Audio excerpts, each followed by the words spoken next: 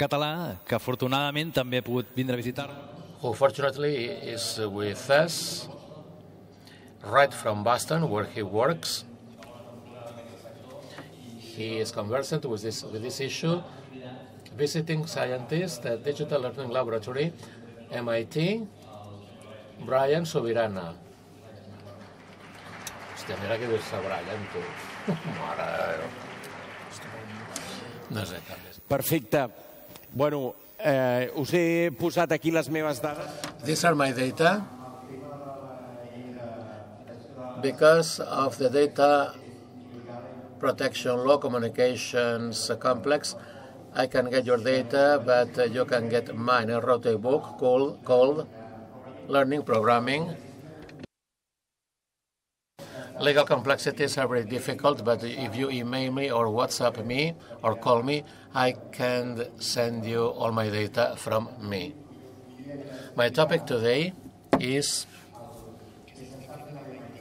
what we are up to at MIT as to what we do on our bench. Four strategies and how it influences Catalan schools. Two cases I like to quote to transfer to the Catalan case. For you to size what we deal with, there are many things. It is a full list of issues to tackle. There are papers being published, white papers, for you to be familiar with our bench and what we do there. Uh, let me just uh, tell you how it influences the Catalan school. First, papers by Professor Forti about uh, dyslexia. Now we do research a lot into how we can learn to fight it. They discovered that with a diffuse blurry image, children had to take pains and learned better. With uh, blurry goggles, children learned more. With these tests, they realized that with letters separated, there were children who had a magnificent improvement, dramatic improvement. It uh, gave uh, Goose Flesh dyslexic. With separated images, it is okay for some dyslexic children at least. Also, the test, the cortex test, telling that the size of the cortex uh, matches uh, academic success. He deepened into a big problem, that of uh, unprivileged communities, the poorest. They realized the poorest kids had a cortex and that grew if they went to kindergarten and the other way around. And this wasn't the case with the most privileged. These are consequences that uh, apply to our case. There are many evidences of that. So, next, let me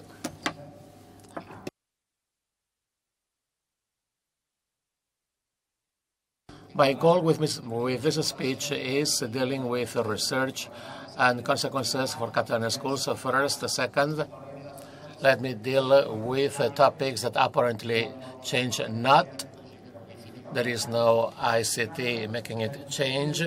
Next, ICTs that may imply, imply added value. I looked forward to doing this. I wrote it on paper in my flight. I told Jeff, uh, who was the head of audiovisual services, and I told him that I wanted to make my presentation with paper and my mobile device. No, no way we had allocated, they needed so many licenses. Imagine the MWC, something you can do at home can be replicated here.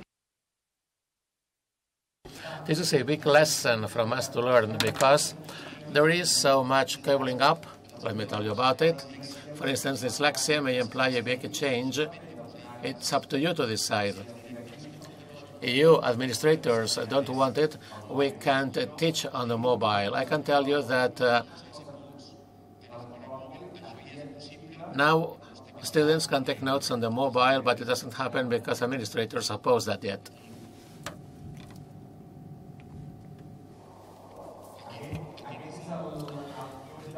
This is the noise of waves forecast by waves compression waves noise.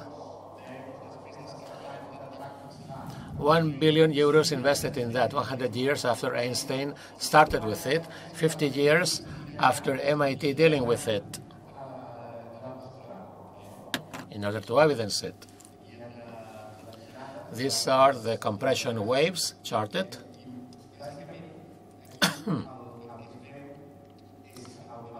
Uh, you can tell uh, how consequential it is for us in Catalonia.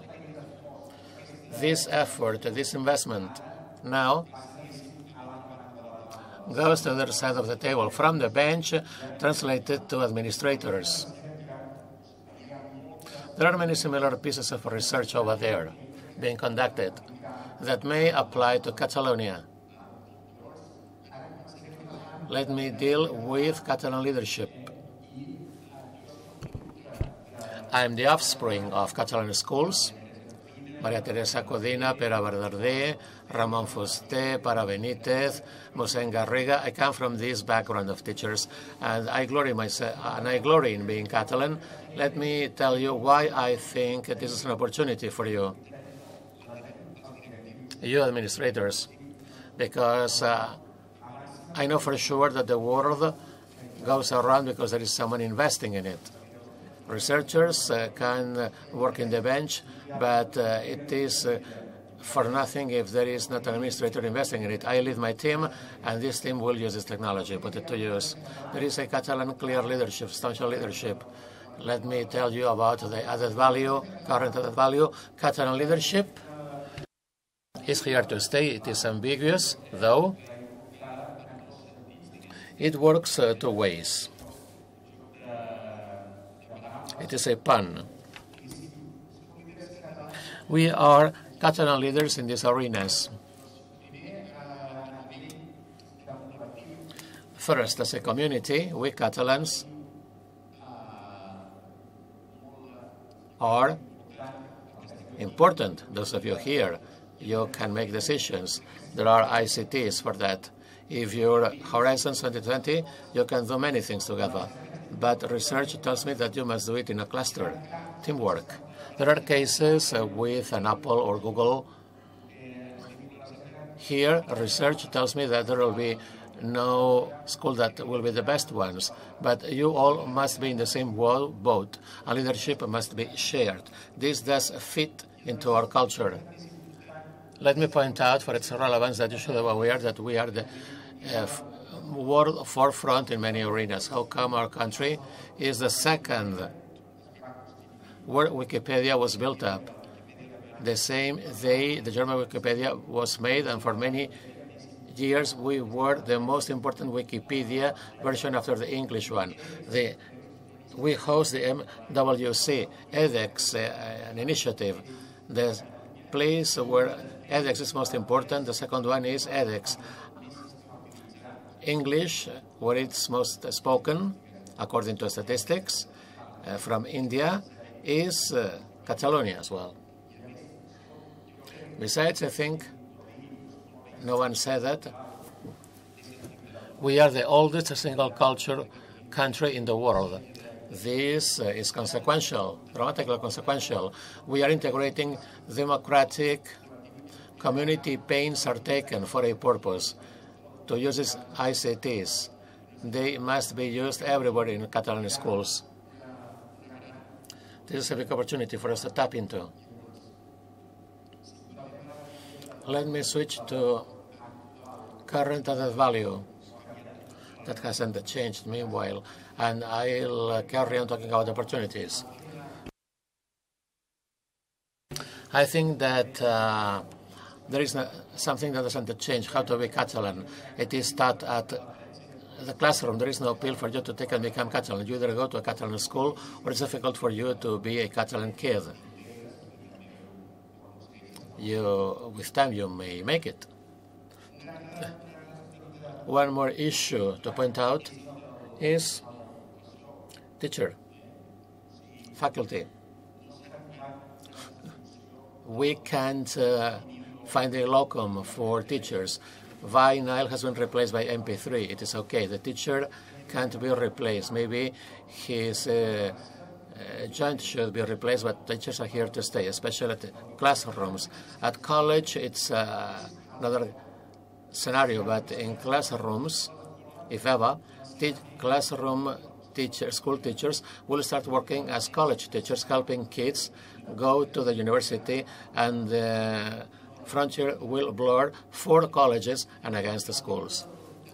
Next, books and paper studying, picking up the hard copies, the books, as it was my case. Is there anything on top of it I've asked? I want to say it because I recall my math professor, Mr. Deulofeu, Mr. Gibert, spending time with them and realizing how much important knowledge was for them.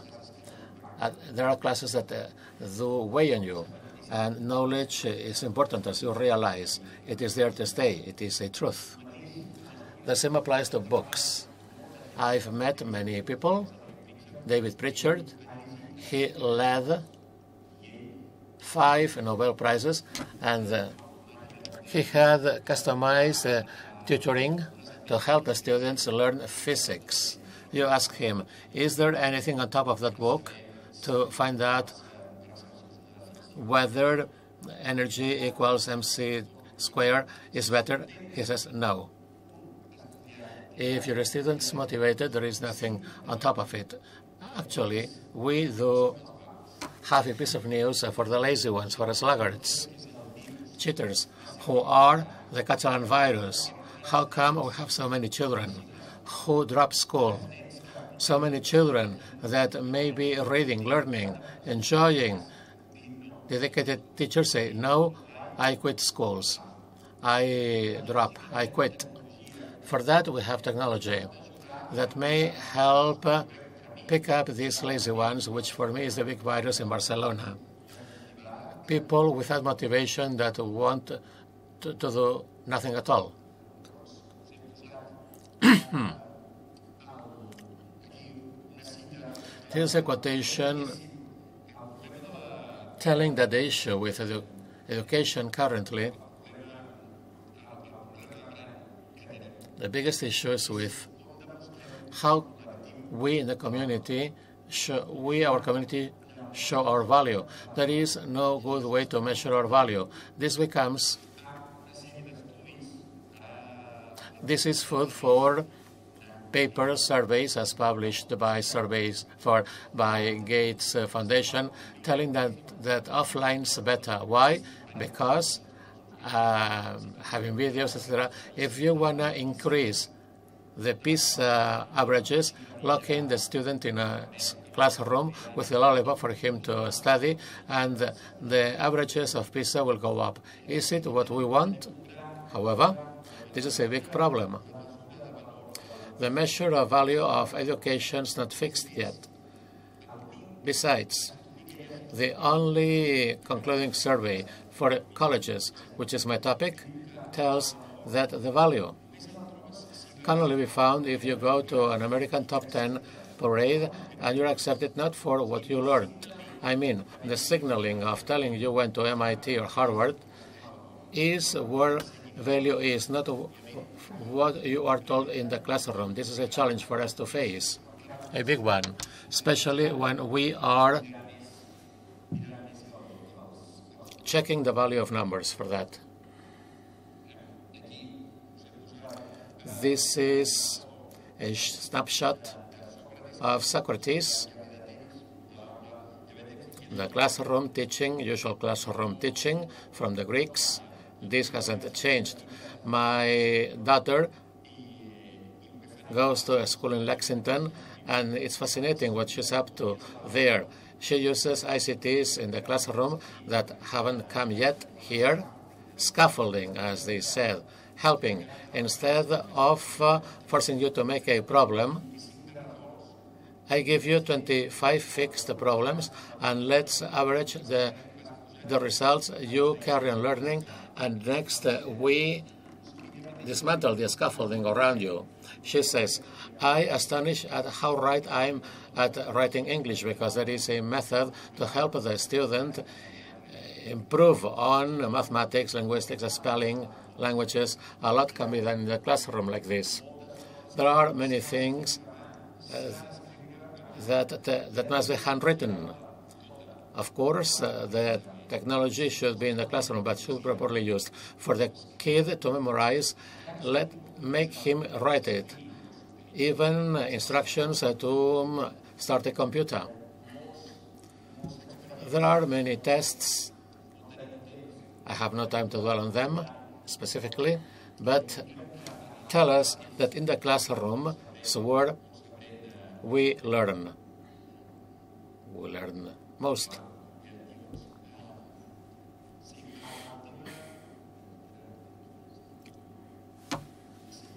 El, el, el tema de la...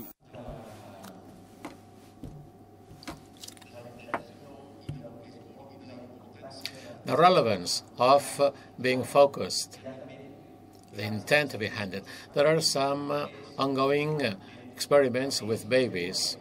What does a baby want to learn at birth? Babies, newborns, during their first lives, during their first hours of life, if they see a frisbee with eyes on it, they think it is a person. They are motivated since birth to learn faces. And next, this motivation develops and improves. And we're researching into it now. And we learn from it.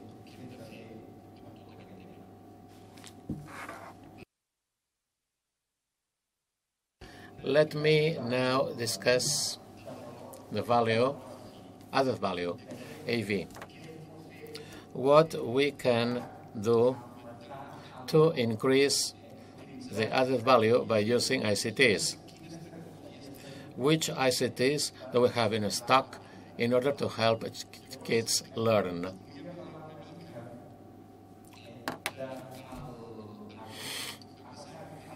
What's happened?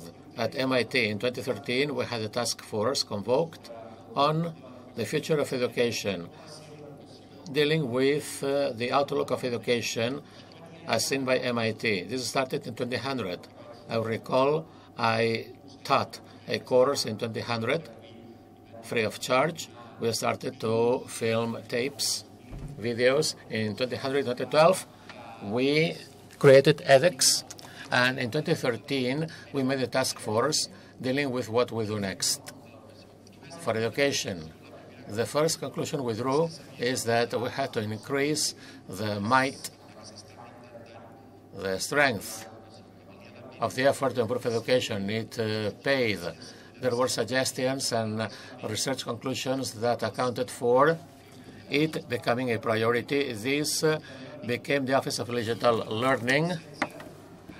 And uh, one month ago, there were two announcements, the creation of a vice presidency for learning. Professor Sanjay Sarma, who should be here instead of me, so I'm replacing him because he couldn't show up. He couldn't make it to Barcelona. Second, they've announced a very critical research agenda for which we are raising funds to translate this effort piled up over these years into specific things. The initiative swooping up in 2013 included I-12. I mean, the MIT must go to schoolrooms. If we teach maths, we must go down to a school level and helping school kids transitioning to MIT. And many other similar initiatives have been conducted meanwhile. Now let me switch to agendas being conducted by MIT now that may apply to you. That weigh on Catalan schools.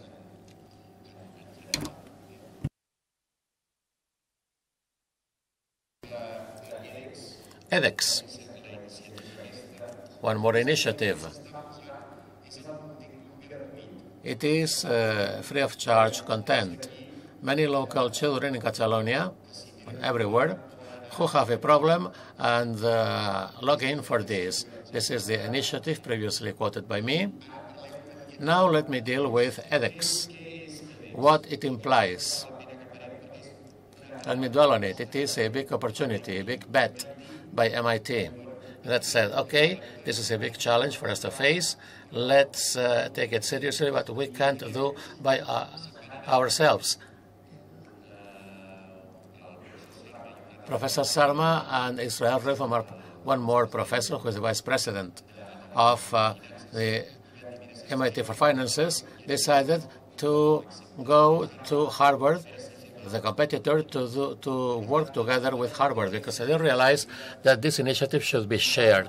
And they incorporated a nonprofit organization called edX. They invested $70 million 35 each one of them, and they said, now we won't give away everything we have to the world. And this is one of the requisites. And uh, there are two innovations for me to point out that are critical that have been introduced by edX I'd like to share with you now.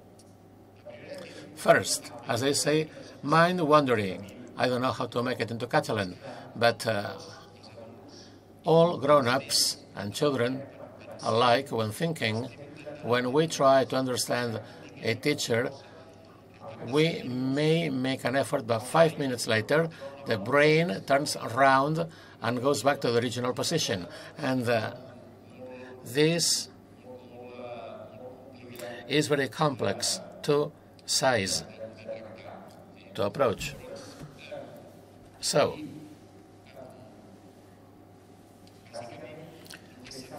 Here, edX said no. edX's content is broken down into small, small pieces.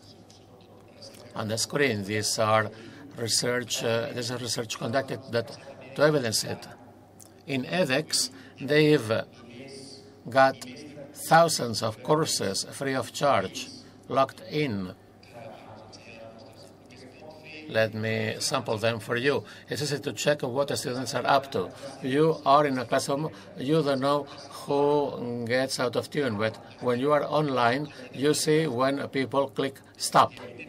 And these are data for that. Doesn't matter how long the video is. Seven minutes later, everyone stops that. It is an innovation introduced for us to break it down into pieces, and uh, it is simple to do and it is uh, consequential, it is dramatic.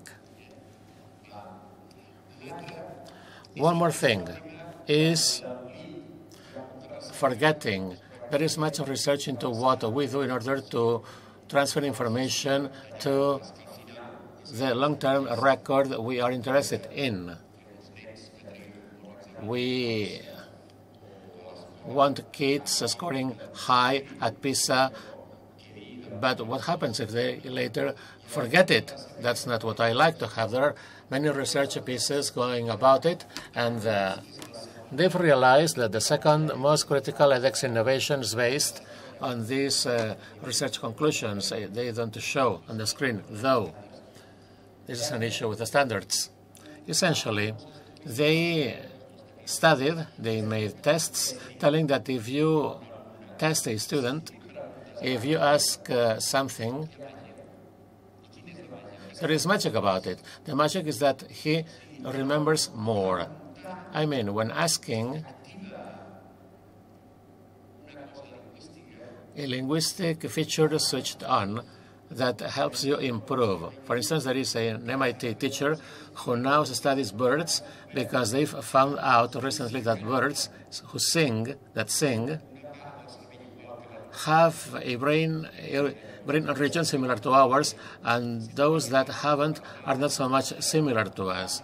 So understanding the question answering implies that by magic some neurons get switched on and go uh, for that purpose. And the, there are apes with electrodes on them and they are put to test. They scan their brains to check exactly which mechanisms are there. What happens? And uh, maybe one of these findings may lead to a scientist fixing the issue with sustainability. And this may be, more, may be more consequential than the 1 billion euros we spent into finding Einstein's waves. This is a critical definition that does weigh on Catalan schools at home. You may set up a system to force ch school children. That's why, that's why I was talking about the lazy ones, these sluggards.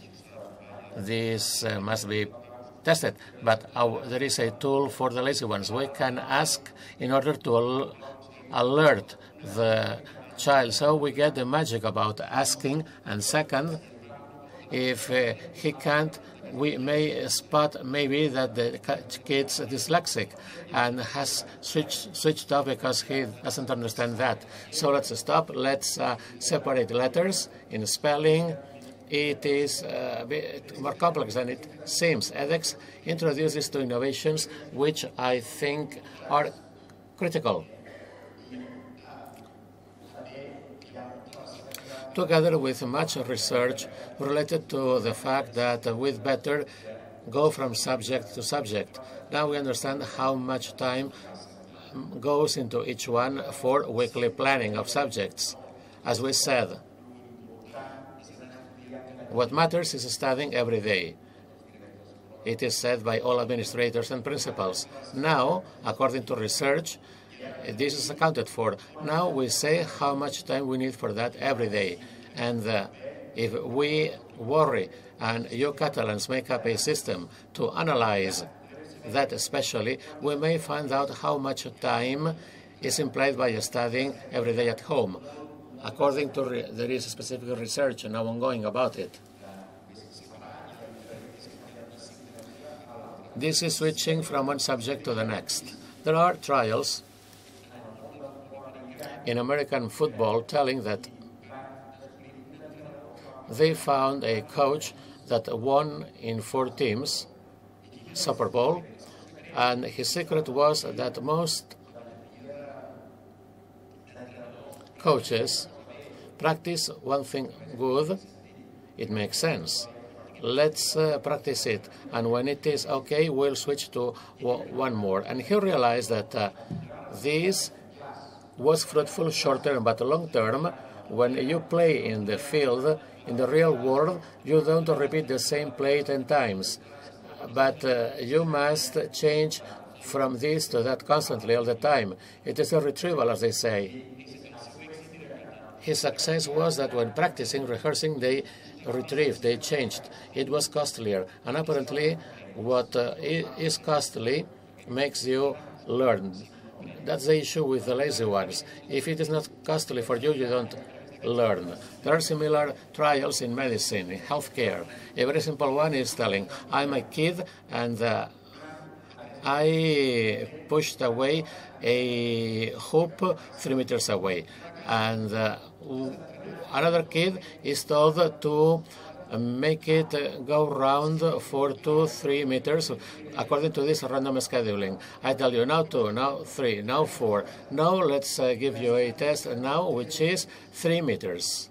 This is the track taken by the hoop. There was a big gap between those who had never done it and those uh, who went to three uh, meters. These were the winners. Why? Because we should change. The same apply to healthcare medicine with trials uh, telling how to introduce a catheter properly. Some others are told do several things together. Uh, practice here, there, over there. If you practice in that spot, it is not that you are best at it if you've done several things. Those who practiced one thing, 47% of doctors couldn't do it. These are trials that I think are appealing. This is the impact of edX.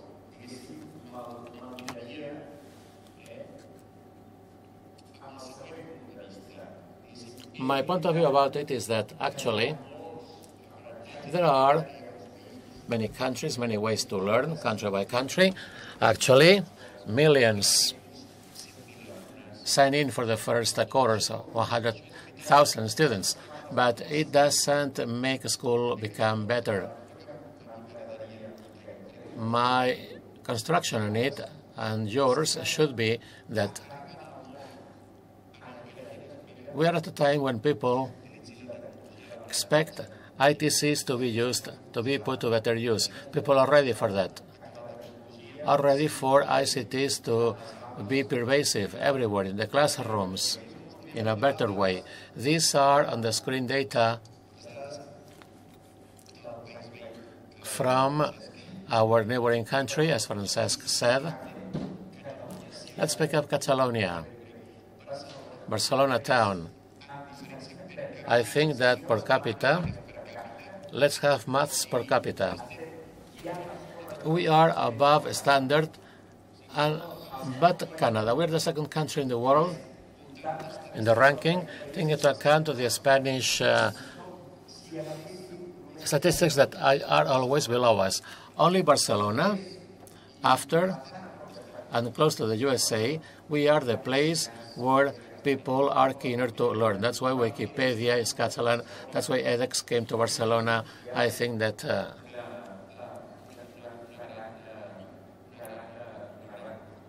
this, this is a big opportunity for us. Let me now switch to this. Three more things I'd like to share with you in order to, to top off three more initiatives. This is the most important subject uh, ever taught. 804 is quantum physics at MIT. You may get a PhD at Rockefeller with very complex books. It is one of the most difficult uh, subjects uh, to learn. This subject, I have a story about it for you. We are in the price setting committee.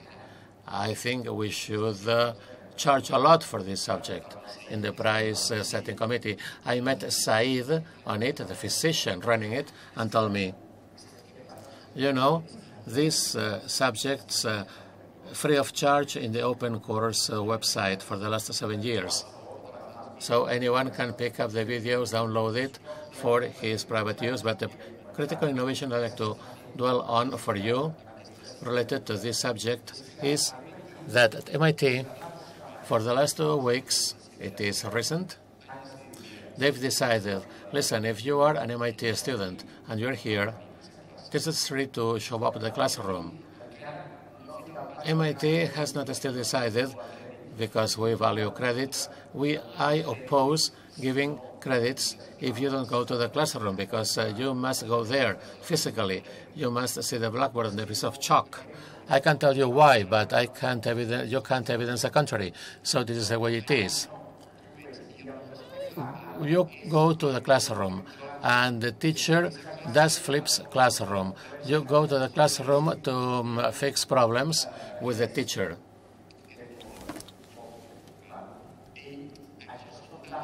These are data telling how happy students are together with faculty. Students do the subject at their pace with separated letters, at their spaces. If you're blind, you are uh, orally helped. If you are uh, deaf, you are also supported for disabled learning. MicroMasters, one more initiative, two minutes to go. This implies that MIT realized that it is shocking. If there is some, someone curious about it, and uh, if there is someone ready to learn in a group of people, in a team, let's uh, issue a group-based digital initiative. It is an, a test. I attended a faculty meeting that approved of launching this. That was very complex to do. And uh, we said, let's pick up the, the best program in the world and let's give away half of it. We can't give credit. At least let's, let's give away half of it. This is democratizing admission agenda. The good ones will only will get credit and will only pay for the second quarter. It's critical for Catalan schools. Now you, for the first time ever, have first uh,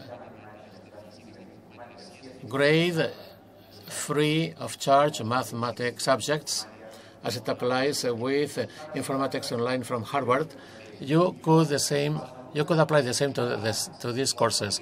You could say, Catalan students who want to go to America, uh, we'll try to help them take the first uh, course, college course. Let's help those who want to study. Let's uh, not help the lazy ones. But, but if there is someone who is promising, let's make a program for him of a summer and let's replicate the American case in Catalonia. Four courses given away. And this uh, applies to Boeing as well. This is a global entrepreneurship community made with data about it on the screen. This is one more initiative which uh, I think is consequential. Let me top off with the biology course. That provided for faculty members. It's being replicated in Florida at uh, 1,000 schools, taking an introduction course into this, into this in a closed uh, in a closed loop. It uh, makes uh, for good teacher training.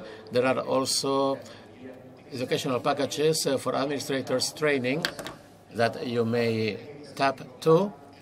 Some courses of this can be taught in the classroom for the first time ever. You can get the, the best content in the world if you want, you can factor in in your classrooms. With this, I just like to tell you, and I'm closing. Back to slide one first. Thank you. I hope you got a good cut of it. Thank you.